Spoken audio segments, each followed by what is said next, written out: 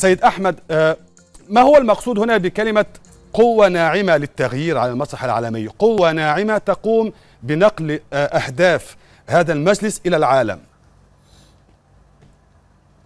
نعم أنا أشكرك. في الواقع أخوي محمد مبادئ المجلس العالمي للتسامح والسلام ورؤيته التي ارتكزت على على قاعدة مهمة جدا وعلى أسس رئيسية جدا وهي بأننا أينما اتجهنا وأينما كانت هناك لقاءات ودعوة لأي دولة أو أو أي برلمان أو أي مؤسسة نجد الترحيب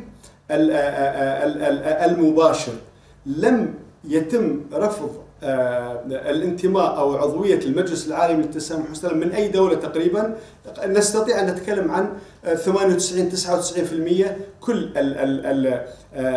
التواصل مع مع مؤسسات المجتمع الدولي بصورة عامة كانت ناجحة جدا. وهذه ارتكزت على القوة الناعمة التي نعمل عليها من خلال من خلال التعليم. ومن خلال الإعلام ومن خلال الكلمة الطيبة من خلال ما يدعو إلى إلى الأمل وإلى التكاتف والتعاضد. كثير من يعني البلدان والمناطق التي زرناها وكانت هناك بعض الحوائج التي تحتاج اليها هذه المؤسسات أو الدول ويبادر المجلس العالمي للتسامح والسلام للتعاطي مع هذه الإشكاليات التي في هذه الأماكن أن أن يوصل الرسالة لجميع لجميع أعضاء المجلس بأن هناك لكم هناك شركاء في الضفة الأخرى من من أو الاتجاه الآخر من العالم.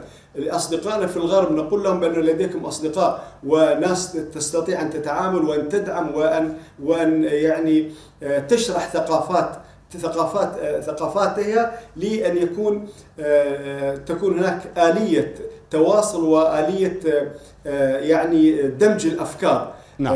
المجلس العالمي للتسامح والسلام من خلال قوته الناعمه بنى هذه الجسور ومشى على هذه الجسور كثير من من من من من الشرفاء من أكاديميين ومن إعلاميين ومن اقتصاديين وبنينا هذه الحلقة. العالم سيدي الفاضل هناك إشكاليات كثيرة وهناك من يعني يعني ما ما نشهده الآن من تناحر حتى على مستوى الأمم المتحدة، حتى على مستوى المؤسسات الدولية الرئيسية، هناك وجهات نظر وهناك ناس تتبنى وجهات نظر وناس تختلف معها، المجلس العالمي للتسامح والسلام وجهته الأساسية ومبادئه الأساسية هي صناعة المحبة صناعة الأمل العمل على تقريب تقريب المسافات بين بين بين بين الشعوب وبين ومن خلال بين الشعوب وبين المحبي السلام من خلال الآليات القانونية ومن خلال الأدوات التي يعني شرعتها الأمم المتحدة وآمنت بها كل الدول لذلك نحن من هذه البوابات نعمل لشراكة عالمية تخدم المجتمع وتخدم المستقبل سيد الفاضل. بمناسبة ذكرك سيد أحمد للأمم المتحدة يعني ألا تعتقد أن المجلس العالمي للتسامح والسلام ربما يهدف إلى ما أخفقت فيه الأمم المتحدة الذي أنشئت بعد الحرب العالمية الثانية وهدفها هو الحفاظ على السلم والأمن الدوليين ولا نرى سلما ولا أمنا.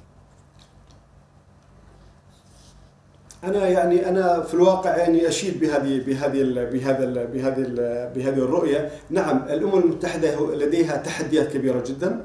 نحن في المجلس العالمي للتسامح والسلام لا نفرض أنفسنا كبديل لبعض المؤسسات ولكن كشريك. وأيضا نفرض أنفسنا بأن نحن منظومة محبة للحب، محبة للسلام، محبة للعمل الإيجابي. وليس لدينا أي مصالح ولا لشركائنا في الدول مصالح يعني تعنى بجهة معينة، مصالحنا هي خدمة أهداف المجلس التي تدعو إلى إلى التسامح والسلام، نحن لا نتكلم عن دين ولا نتكلم عن شعب أو لغة، نحن كلنا شركاء على الكرة الأرضية، كلنا شركاء في أن نتنفس هذا الأكسجين، لذلك نعمل ل لأن يعني نعزز هذا هذا التوجه. لدينا طموح كبير جدا لدينا آمال كثيرة جدا على أننا ننتقل إلى إلى إلى إلى إلى مستوى أعلى ومرحلة أعلى. ولدينا يعني مبشرات بأن هناك قبول من من المؤسسات الدولية ومن التحالفات ومن يعني المناطق التي التي تضم مجموعة من من الدول الاتحاد الأفريقي البرلمان نعم. الاتحاد الأوروبي وغير ذلك لا أضرب مثل بذلك جمع الدول العربية فنحن لدينا الحمد لله آه، قبول ولدينا شراكات مع مع مع المنظومة آه، السياسية واسمح لي أخي محمد فضل. بأن لدينا أكثر من 65 اتفاقية مع جامعات وهذا هو الهدف الرئيسي أن هذه القوة الناعمة من خلال التدريس ومن خلال آه، تقديم منح وفرص لكل من لديه آه، الاستعداد لأن يعني يدفع بعجلة التسامح والسلام إلى الأمام معنا. للأسف